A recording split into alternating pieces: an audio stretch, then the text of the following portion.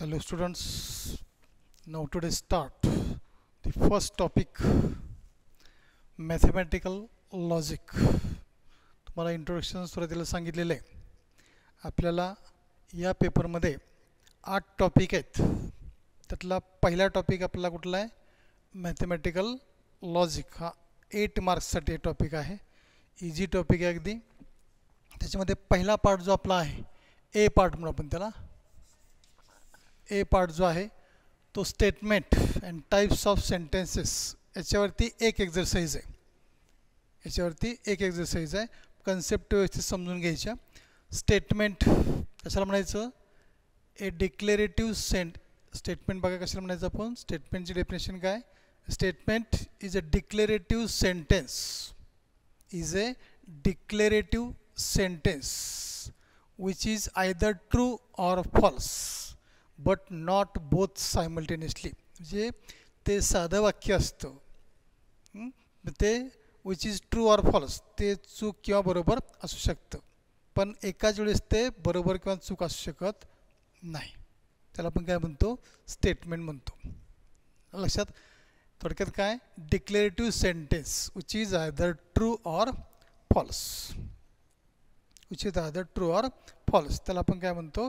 Declarative sentence समजा for example समजा आपण घेतलं ह्याला three plus two equal to five three plus two equal to काय? फाईव्ह बरोबर आहे की नाही? Three plus two equal to five is is a declarative sentence हे ट्रू का फॉल्स माहीत नाही पण ट्रू ऑर ट्रू किंवा फॉल्स दोन्हीपैकी एक आहे. तीन आणि दोन पाच. म्हणजे कसं आहे? ट्रू आहे. कसं आहे? ट्रू आहे. मी ह्याला काय म्हणायचं? डिक्लेरेटिव्ह सेंटेन्स ठीक आहे. किंवा मॅथमॅटिकल जे काही आयडेंटिटी असतात ते पण काय असतात? स्टेटमेंट असतात. For example formulae sine square theta plus cos square theta equal to one हे काय? मॅथमॅटिकल आयडेंटिटीज आहे. याचा अर्थ हे काय? हे काय? स्टेटमेंट आहे. हे काय आहे? स्टेटमेंट आहे. ठीक आहे. आता स्टेटमेंट काय सांगितलं आपण? Declarative sentence which is either true or false but not both simultaneously and it is denoted by small letters p q r म्हणजे आपण स्टेटमेंट कशाने डिनोट करतो? पी क्यू आणि आर हे स्मॉल लेटर वापरतो. जनरली आपण हे तीन लेटर्स वापरतो. पी क्यू आणि आर ठीक आहे हा झाला स्टेटमेंट नेक्स्ट पार्ट आपला इथला types of sentences types of काय? सेंटेन्सेस पाच टाईपचे सेंटेन्सेस आहेत. त्यातलं पहिलं आहे डिक्लेरेटिव्ह सेंटेन्स डिक्लेरेटिव्ह सेंटेन्स ठीक आहे. याचा अर्थ काय? की only declarative sentence is a statement is a statement म्हणजे हे फक्त डिक्लेरेटिव्ह सेंटेन्स असतं तेच फक्त काय? स्टेटमेंट असतं. तेच काय? स्टेटमेंट असतं. मग ते इट इज ट्रू किंवा फॉल्स मग याचा अर्थ जर ते स्टेटमेंट असेल तर त्याची ट्रूथ व्हॅल्यू ट्रू किंवा फॉल्स असते. जर त्या स्टेटमेंटची ट्रूथ व्हॅल्यू जर ट्रू असेल तर त्याला आपण डिनोटेड बाय काय करतो? लेटर टी वापरतो कॅपिटल टी आणि जर ते स्टेटमेंट फॉल्स असेल तर त्याची ट्रूथ व्हॅल्यू काय म्हणे त्याला? एफ म्हणजे ट्रूथ व्हॅल्यू कशा असतात? दोनच ट्रू किंवा फॉल्स ट्रू किंवा फॉल्स त्याला म्हणतं ट्रूथ व्हॅल्यू पण जर स्टेटमेंट ट्रू असेल तर त्याची ट्रूथ व्हॅल्यू काय आली? True and is denoted by capital T आणि जर स्टेटमेंट फॉल्स असेल तर ते काय करतो आपण? डिनोटेड बाय कॅपिटल एफनं डिनोट करतो. ठीक आहे? हे झालं डिक्लेरेटिव्ह सेंटेन्स पहिला टाईप आणि डिक्लेरेटिव्ह सेंटेन्स हे काय असतं? स्टेटमेंट असतं. ते काय असतं? स्टेटमेंट असतं. बाकीचे टाईप आहेत बघा दुसरं कुठलं आहे? इम्पेरेटिव्ह सेंटेन्स इम्पेरेटिव्ह सेंटेन्स म्हणजे ते काय काय असतं which is a form of काय कमांड ऑर रिक्वेस्ट म्हणजे त्या सेंटेन्समध्ये कमांड किंवा रिक्वेस्ट असते. कमांड किंवा रिक्वेस्ट असते. फॉर एक्झाम्पल तुम्हाला सांगायचं असेल तर काय समजा सांगता येईल तुम्हाला? एक कमांड करायचं आहे रिक्वेस्ट करायची आहे किंवा कमांड द्यायची तुम्हाला.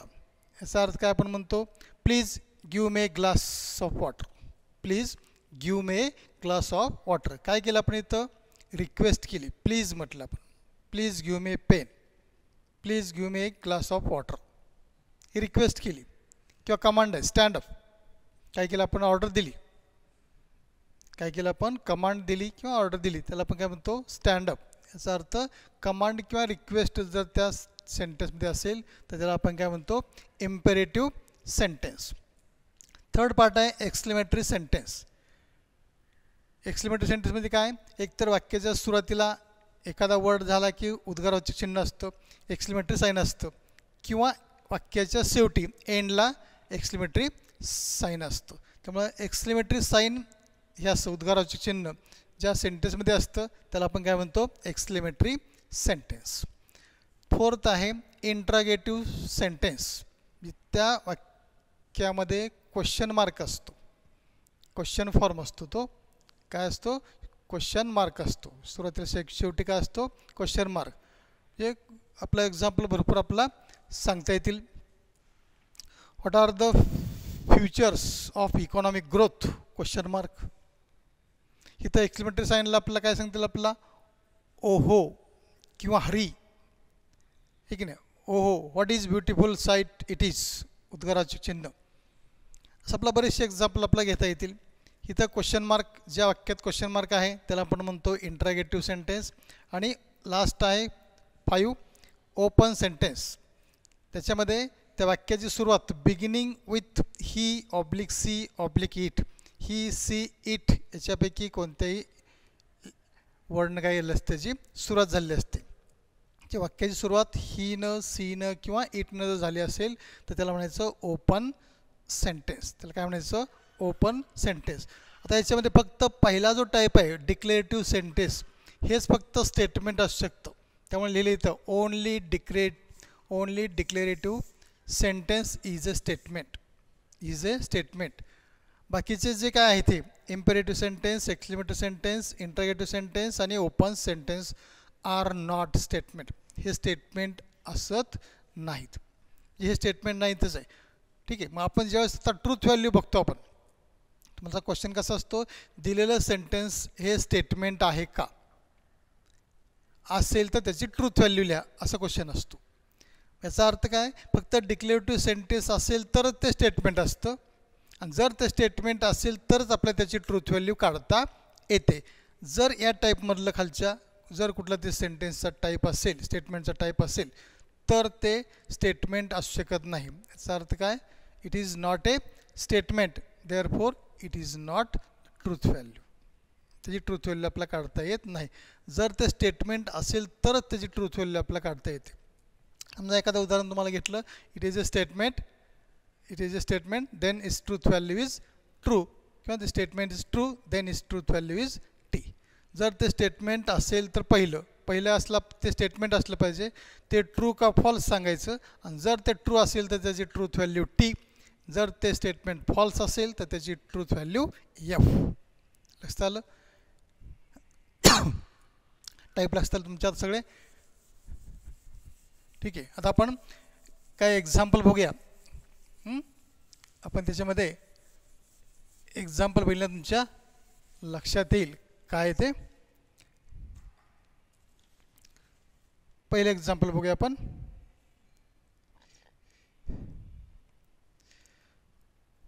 Three plus seven equal to ten three plus seven equal to काय? टेन पहिली एक्झरसाईज आपला फर्स्ट एक्झरसाईजमधला आपण बघतोय त्या टाईपचे three plus seven equal to काय? टेन आहे. काय लिहायचं आपला एकच फॉर्मेट करायचा. काय करायचा? इट इज ए स्टेटमेंट काय करायचं? It is a statement it is a statement it is a statement आहे की नाही? आता हे काय ट्रू का फॉल्स आहे? It is a statement which is true which is काय? True which is true. Therefore, its, its truth value is hence hence hence its truth value. Truth value is t संपलं दुसरं काय सांगितलं it is a statement statement का आहे कारण हे declarative sentence आहे क्लिअर कट होतं three plus seven equal to काय टेन आहे बरोबर आहे three plus seven equal to काय टेन आहे त्यामुळे हे काय? डिक्लेरेटिव्ह सेंटेन्स आहे. ठीक आहे? किंवा दुसरं आपण बघूया. आपण आता आहे दुसरं काय बघू आपण? X square plus five x x square plus five x plus six equal to zero equal to zero for x equal to two for x equal to काय सांगितलं आहे x equal to minus two म्हटलं for x equal to काय? Minus two आता condition दिली. जर तुम्हाला समजा हे एवढं दिलं असतं x square plus five x plus six equal to zero तर हे स्टेटमेंट आहे का आपलं माहीत नाही कारण इथे एक्स आहे. मग असे काय होतं three plus seven equal to ten होतं. तिथे एक्स वगैरे काय होतं का? नाही. त्यात इथं पण डिपेंड्स ऑन द एक्स एक्सच्या व्हॅल्यू आपण डिपेंड आहे इथे इक्वल टू झिरो यायला. प्रत्येक व्हॅल्यूज आपण इथं ठेवली एक्सची तर झिरो येईल का? नाही. पण त्यांनी कंडिशन सांगितली for x equal to minus two जर x equal to minus two ठेवलं तर ही झिरो येत असेल तर हे काय? स्टेप डिक्लेरेटिव्ह सेंटेन्स आहे. ठीक आहे मग हे आपलं ट्रू का फॉल सांगता येईल याचा अर्थ काय? ह्याची मायनस टू व्हॅल्यू ठेवून बघा. म्हणजे किती आलं? फोर नंतर इथं काय आलं? पाच दोन्ही दहा मायनस टेन आणि प्लस सिक्स किती येतं आहे इक्वल टू काय येतं आहे झिरो येते याचा अर्थ काय लिहायचं? It is a declarative sentence किंवा त्याला असर्टिव्ह सेंटेन्स पण म्हणतात. It is a declarative sentence which is therefore it is a statement it is a statement which is true hence its truth value is T झालं? तुम्हाला पण आता हेच जर तुम्हाला समजा वेगळं एक्झाम्पल सांगितलं. एक्सची व्हॅल्यू जर तुम्हाला वेगळी दिली आपण. दुसरं वाक्य आपण बघूया. The sum of two numbers समजा पहिलं वाक्य काय होतं आपलं समजा? हे three plus seven equal to ten होतं. ठीक आहे? इक्वल टू टेन होतं. आता दुसरं एक्झाम्पल बघूया आपण.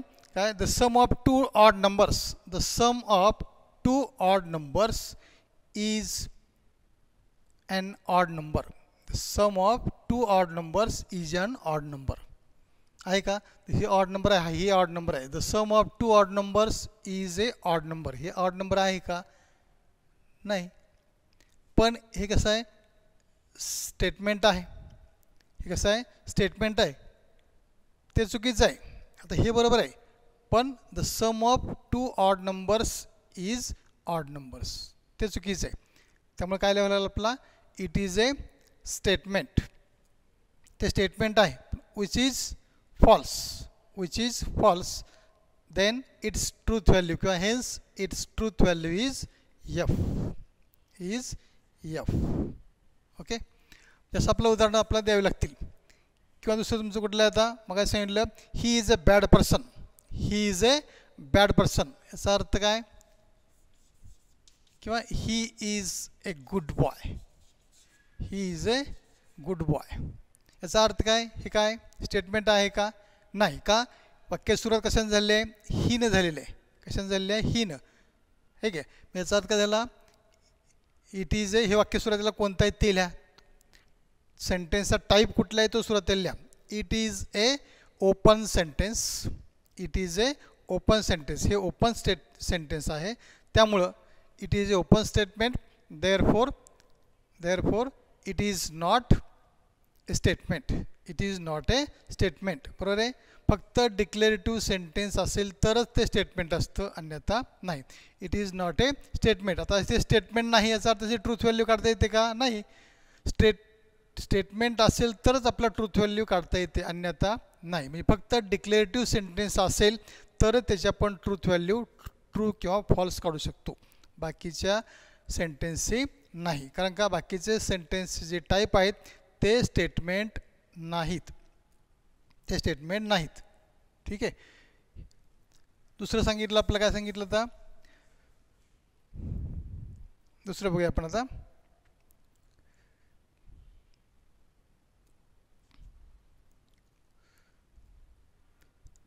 Did you ate lunch ate did you ate lunch ate याचा अर्थ काय? क्वेश्चन मार्क आहे. किंवा you are amazing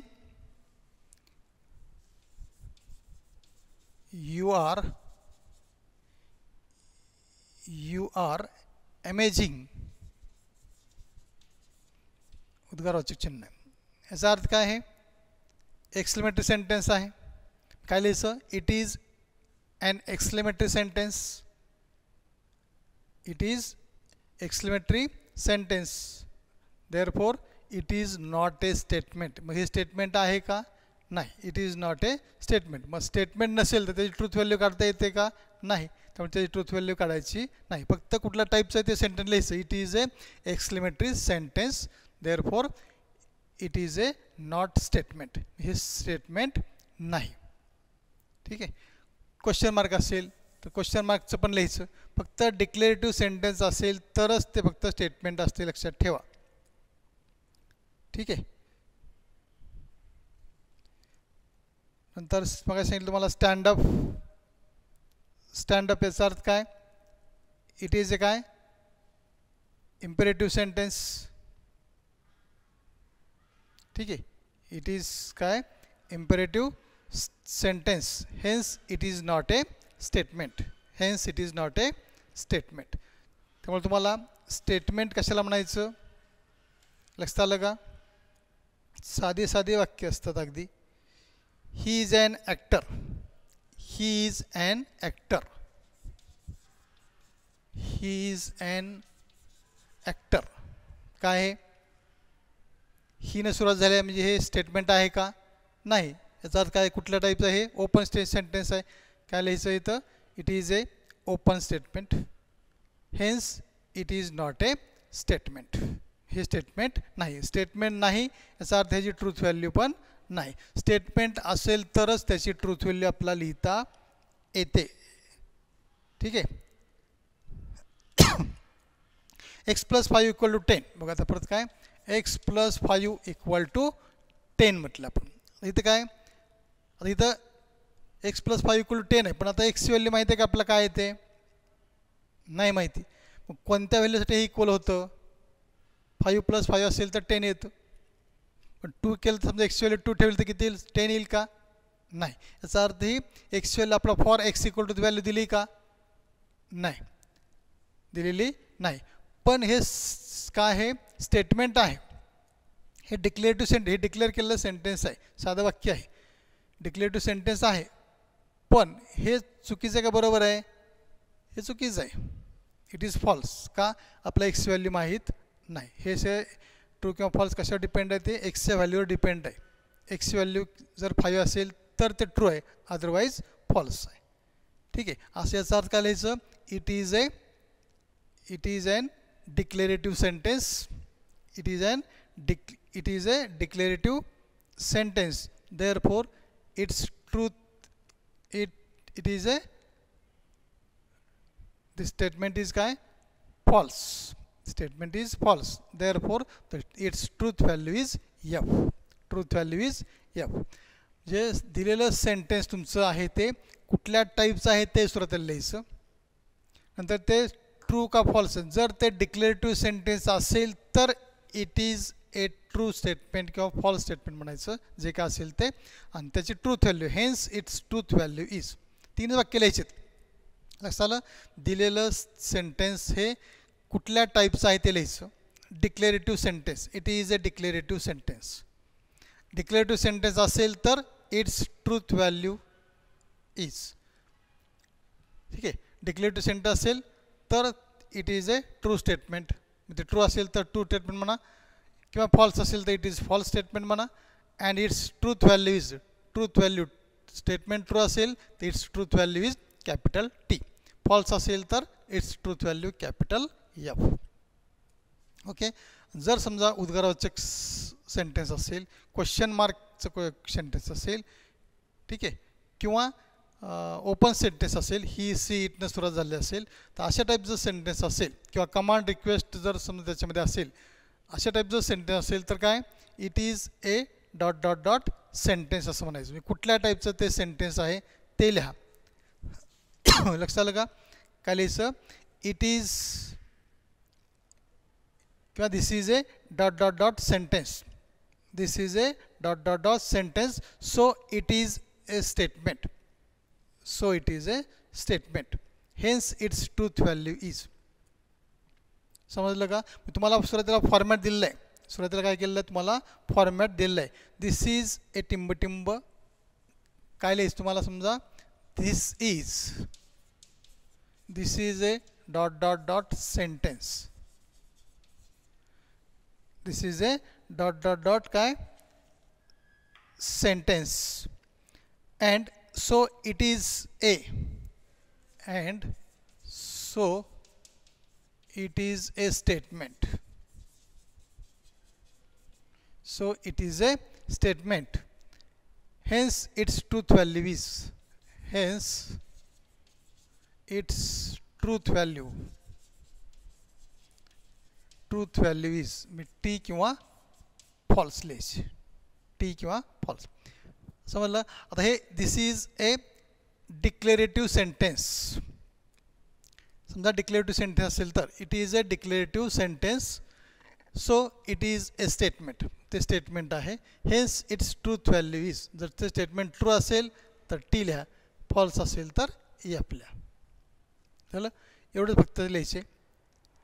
it is a statement आणि इज ट्रूथ व्हॅल्यू इज काय असेल ते आणि जर समजा द स्टेटमेंट इज बाकीचं this statement is dot dot dot sentence म्हटलं मी कुठला इंट्रागेटिव्ह इम्पेरेटिव्ह एक्सलेमेटरी आणि ओपन स्टेटमेंट जर असतील तर इथं काय लिहिणार so it is not statement hence it एवढंच लिहायचं फक्त it is not a statement me state not statement आलं की हे खालचा संबंध येतो का ट्रूथ व्हॅल्यूचा नाहीच आहे ठीक आहे एवढं फक्त पॅटर्न आपलं ते सोडायचं आहे जसं आहे तुमच्या ह्याच्यावरतीच आहे कन्सेप्ट समजली का?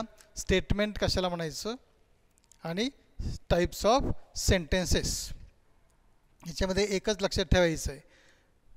जर ते स्टेटमेंट तुमचा क्वेश्चन असा असू शकतो पहिला क्वेश्चन तुमचा एक्झरसाईजमधला असू शकतो. State which is the following sentences are statement justify your answer justify your answer in the case of statements write down the truth value write down the truth value तुम्हाला example बरेचसे याच्यामध्ये दिलेले आहेत तुम्हाला. तुम्ही एक्झाम्पल ते व्यवस्थित तुम्ही हे करा. नोट्स तुम्हाला पाठवलेले आहेत. नोट्समध्ये तुम्हाला एक्झाम्पल लक्षात येतील. ठीक आहे? आता आपला पहिला पार्ट आपण इथं फक्त संपवलेला आहे. पहिली एक्झरसाईज फक्त आपली झालेली आहे. ए पार्ट झालेला आहे. लक्षात आलं? ए पार्ट आपल्याला झालेला आहे.